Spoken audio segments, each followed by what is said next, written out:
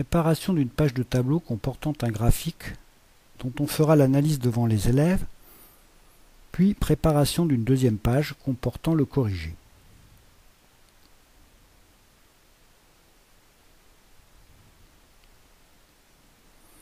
On lance Active Inspire.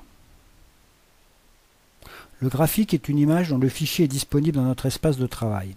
Il s'agit donc d'insérer un support. Cet outil est disponible directement dans la palette d'outils Création.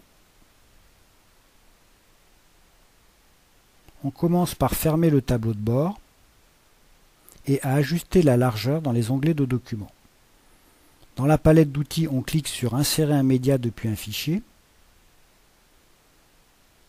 On parcourt l'arborescence de notre ordinateur et dans notre espace de travail, on sélectionne le fichier mouvement naturel pointif. On dispose le graphique dans la page. On va mettre un titre à ce graphique à l'aide de l'outil texte. On tape le titre.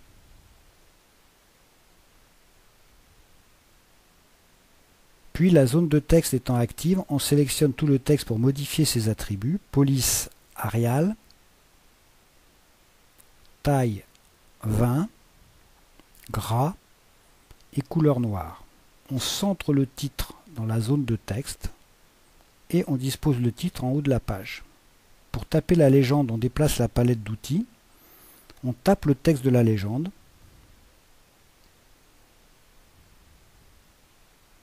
on sélectionne tout, on choisit la taille 12 et maigre. On replace la légende et pour la compléter, dans la palette d'outils, on choisit Forme.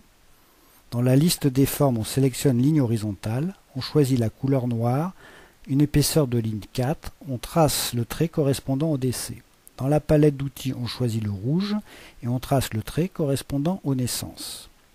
Pour encadrer la légende, on choisit un rectangle arrondi sans couleur de remplissage avec une couleur de bordure noire et une épaisseur de trait de 4.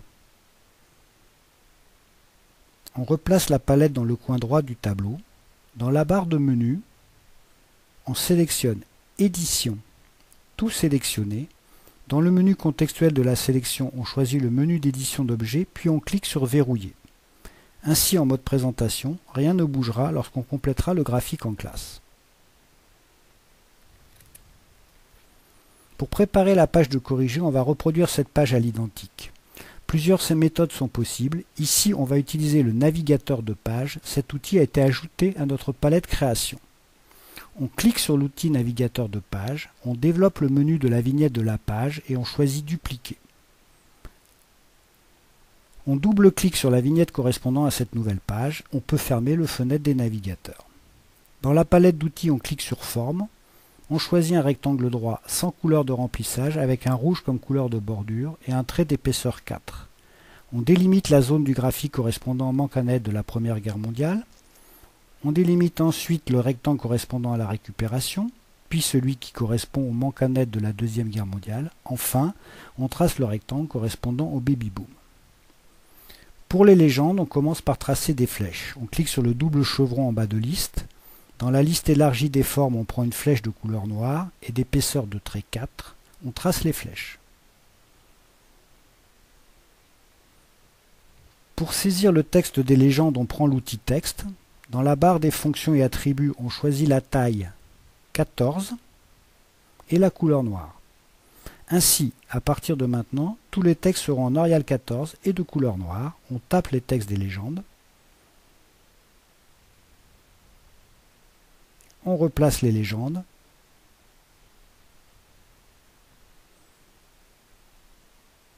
La construction du graphique est terminée. On sauvegarde le fichier dans son espace de travail en choisissant dans la barre de menu la commande Fichier enregistré sous. La création du corrigé a permis de s'entraîner à la manipulation des outils.